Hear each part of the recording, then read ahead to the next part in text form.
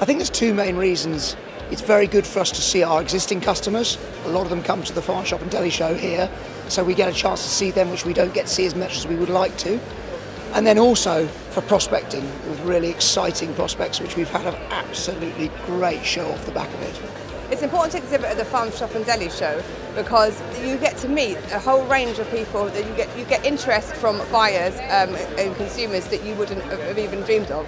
Um, and it's, it's been a very busy show. I've made lots of lots of conversations with people, and I've got a whole stack of business cards. I've got a notebook full of full of writing. So yeah, it's gone really really well. Many of the people who come along to visit the Farm Shop and Deli Show are potential customers for us to meet those people face to face. We have just taken so many leads from the very first morning. It's important for us to exhibit at the Farm Shop and Deli Show because that covers our main uh, client base. We work with a lot of independent retailers, um, farm shops, yeah, farm shops and delis. it's been really, really positive. We always bring all our new products to shows like these.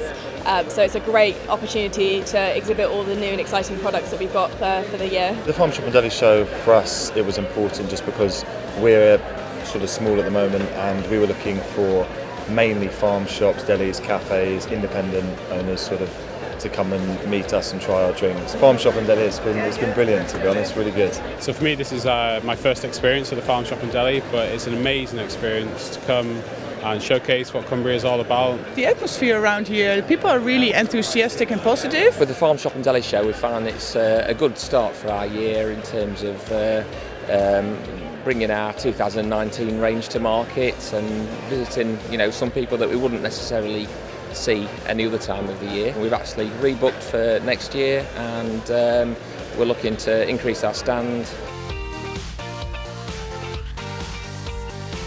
But what I've noticed about this show is it's very well organised. That you've got a high calibre of attendees, it it would appear, from all different, from all around the UK, even some from different countries and that's what's been great about here. There are so many traders under one roof. I think it's the size of the farm shop and deli show and the quality of the, the traders who are here uh, and the nature of them. I think it's a very it's a very highly rated show. We've, we've thought about coming here for a few years. It's the first time we've made it, and um, we've rebooked for next year. We're delighted that we'll be coming back to the Farm Shop and Deli Show. So I think it's the right place for us. I'd say it's more relevant to us because it's a lot of sort of smaller independent chains, things like that, uh, meeting people from garden centres, farm shops, um, all sorts really. Uh, the footfall is amazing, everybody seems to be really engaging with you, wanting to know what you're doing. Um, and yeah, we just want to shout about what we're doing. Nothing touches on face to face.